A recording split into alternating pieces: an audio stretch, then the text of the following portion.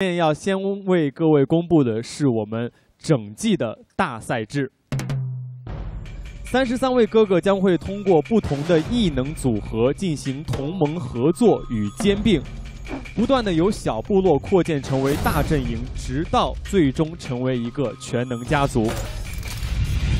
当然，期间也会有人离开。好，我们马上发布是今天的成组规则。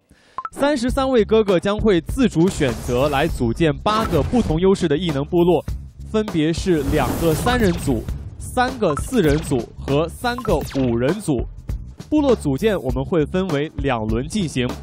第一轮，八个部落每个部落开放两个席位，也请大家自行寻找队友，两两成组，即可进入到我们的会议室签约，先到先得，选满为止。在第二轮。邀请其他的队友完成部落的组建。我怎么听不懂呢？我不懂哎，不懂啊，什么意思？今天会组合，重新组合八个新的组合。在整个过程当中，哦，再要拼嘅，即系两个拼咗先。哥哥们还有什么疑问吗？有，好，炫哥、迪哥，我们要走了，我们要走了。不不，还还没有，还没开始，还没开始。好好好，这么着急？哥哥们就是已经就是惺惺相惜很久了。接下来，好，在这里还要提醒一下大家，两两成对之后，必须要先告诉我一声，我敲锣示意之后，才可以进入会议室。八个席位，先到先得，选完即止。第一轮部落组建现在开始。我去会议室等各位了，我去敲锣那里等待大家。一会儿见，一会儿见。我们就去了吧。要跟我一组，从这里经过我，我一下乱了。大家好像真的是在一刹那就找到了自己的心仪的对象。现在开始。会议室在这里啊，会议室在这边。那我们就直接走。好。因为我们心有灵犀啊，有艺术上的一种一种默契吧。我跟你就我跟你一起了，以后我们进去以后再说。OK，好好。我马上找到李承生。因为他是，我是他的尾巴，他他要当我的尾巴，所以当着我的尾巴过程中，这个事情就就定了。一喊开始的时候，我就看杰瑞一眼，走吧，杰瑞就，我俩就组成一个队了。毕竟跟你那那几天挺喜欢你的，然后就不管你去哪一个组歌，就永远会想要留一个位置给你。